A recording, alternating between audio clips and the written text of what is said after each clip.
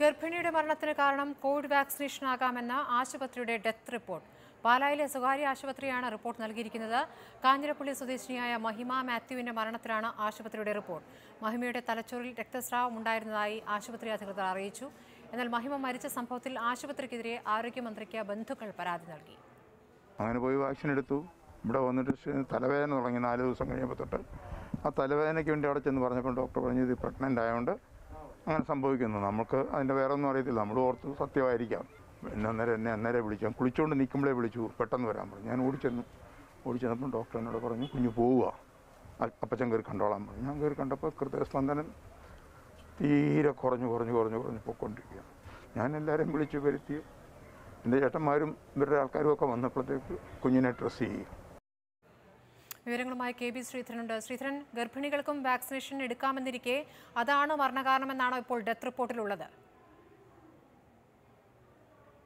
സ്മൃതി സംസ്ഥാനത്ത് Covid vaccination യജ്ഞം ത്വരിതഗതിയിൽ നടക്കുകയാണ്. അതിനിടെയാണ് ഇത്തരത്തിൽ ആശങ്ക ജനിപ്പിക്കുന്ന രീതിയിലുള്ള ഒരു മരണ റിപ്പോർട്ട് ഒരു സ്വകാര്യ ആശുപത്രിയുടെ ഭാഗത്തു നിന്നുണ്ടായത് പാല മാർസ്ലീവ മെഡിസിറ്റിയുടെ ഭാഗത്തു നിന്നാണ് ഇത്തരത്തിലൊരു റിപ്പോർട്ട് നൽകിയിരിക്കുന്നത്. ഓഗസ്റ്റ് ആറിനാണ് മഹിമ മാത്യു വാക്സിൻ എടുക്കുന്നത്. അതിനുശേഷം പതിനൊന്നാം തീയതി മുതൽ അവർക്ക് തലവേദനയുണ്ടായി. തുടർന്ന് പാല ഈ ചികിത്സയിലുള്ള പാല മെഡിസിറ്റിയിൽ കൊണ്ടുപോയി.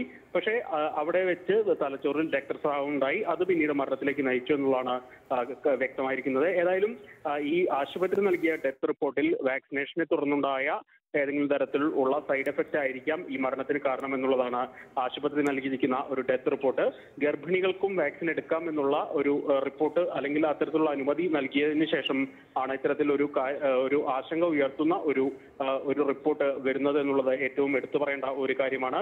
ഈ വാക്സിൻ എടുക്കുന്നതിന് മുൻപ് രണ്ടു മാസം ഗർഭിണിയായ ഈ യുവതി അതും അവരുടെ ഭർത്താവും ഈ മരങ്ങാട്ടുപള്ളി പി എസ് സിയിലെത്തി ഡോക്ടറോടും അതുപോലെ തന്നെ മാർസ്ലീവ മെഡിസിറ്റിയിൽ ചികിത്സയിലുള്ള മാർസ്ലീവ മെഡിസിറ്റിയിലെത്തി അവരോടും ഉപദേശം തേടിയിരുന്നു.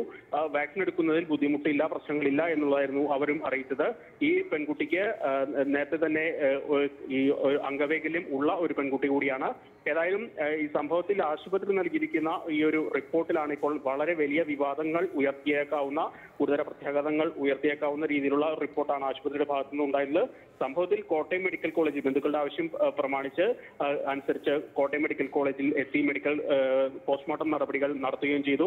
തലച്ചോറിലുണ്ടായ രക്തസ്രാവമാണ് മരണകാരണമെന്നാണ് പ്രാഥമിക വിലയിരുത്തൽ. പക്ഷേ ആശുപത്രി ഇപ്പോഴും ഇത്തരത്തിൽ വാക്സിനേഷൻ നടപടികളാകാം. മരണകാരണം എന്ന റിപ്പോർട്ടിൽ ഉറച്ചു നിൽക്കുകയാണ്. ഏതായാലും ഈ രക്തസ്രാവം എങ്ങനെ ഉണ്ടായി എന്നുള്ളതാണ് വിശദമായ പരിശോധനയിലൂടെ ഇനി കണ്ടെത്തേണ്ടത്. സംഭവത്തിൽ ആരോഗ്യമന്ത്രിക്ക് ബന്ധുക്കൾ ഈ ആശുപത്രിക്കെതിരെയും അതുപോലെ തന്നെ ഈ വാക്സിനേഷൻ നടപടിയാണോ ഇത്തരത്തിൽ മരണത്തിന് കാരണമായത് എന്നുള്ള കാര്യങ്ങൾ വ്യക്തമാക്കണമെന്നാവശ്യപ്പെട്ട് ആരോഗ്യമന്ത്രിക്ക് ബന്ധുക്കൾ പരാതി നൽകിയിട്ടുണ്ട്.